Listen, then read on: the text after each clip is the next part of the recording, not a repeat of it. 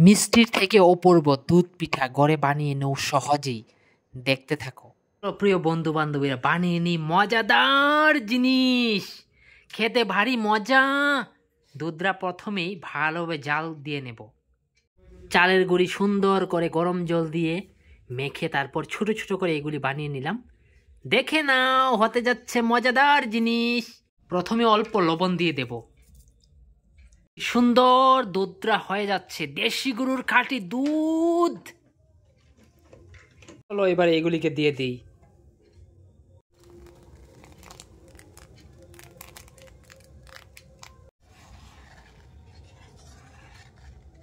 খাঁটি গরুর খেরতুয়া, এত মজাদার একটা গন্ধ বেড়েছে, কি করে বোঝাবো বন্ধুরা?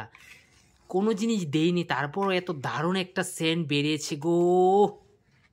অল্প আগুনে সিদ্ধ হতে থাকুক। গড়ে এমন কিচ্ছু নেই, তাই তেজপাতাটাই দিয়ে দিলাম। আপনাদের ঘরে যদি এলাচ, লবঙ্গ থাকে, এগুলিও দিয়ে দিন। দারুণ হবে, দারুণ! আস্তে আস্তে নাড়াতে থাকুন নিচে, যাতে একদম না লাগে। তাহলে মজাটা লাগবে না, বন্ধুরা। ঘরে আছে দুইটা বাতাসা, একটু চিনি, একটু তিল্লাই। চলো এইগুলি দিয়ে দিই।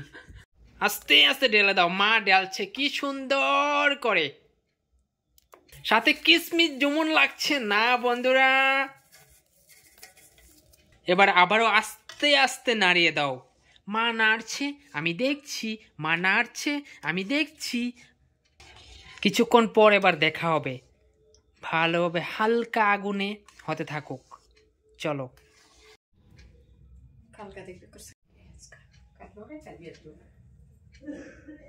দেখতে পাচ্ছ তো বন্ধুরা, কি মিঠা, অসাধারণ!